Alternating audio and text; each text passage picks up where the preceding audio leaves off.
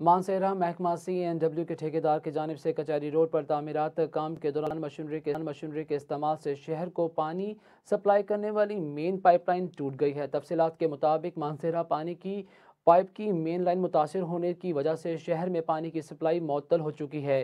T M O Mazhar Awan ने notice लेकर मजकूर सीमेंट से बनी लाइन की मरम्मत का काम फौरी तौर पर जारी कर दिया है। उन्होंने कहा है कि अगले 36 घंटों तक लाइन को मरम्मत करके वाटर सप्लाई बहाल की जाए और शहर भर की आवाम को पानी की सप्लाई फराहम की जाए।